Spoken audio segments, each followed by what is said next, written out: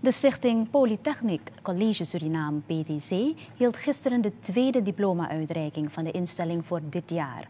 34 personen ontvingen hun Bachelor of Science en 16 hun Master of Business Administration titel. Het PTC is een deeltijds avondopleiding en biedt beroepsgerichte technische programma's op hoger niveau aan, vooral sectoren in de samenleving. De instelling is opgericht op 21 februari 1997 en is het enige instituut dat hogere technische beroepsopleidingen in Suriname aanbiedt. Ashok Kumar Ambali, voorzitter van het bestuur van PTC, die ook sprak namens het ministerie van Onderwijs, Wetenschap en Cultuur, feliciteerde de afgestudeerden met het behaalde succes. Hij hield hen voor dat zij hun eigen toekomst in handen hebben. Ze moeten zich nu gaan bewijzen.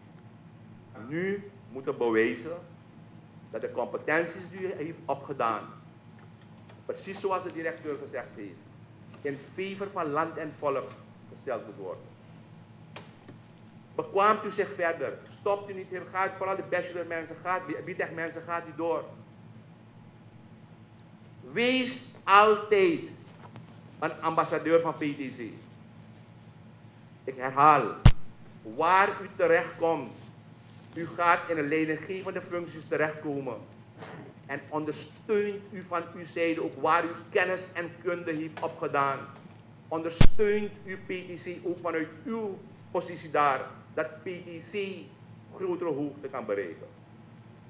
Laat maar u, niet alleen u, maar ook uw wederhelft, uw kinderen, uw naaste familie feliciteren.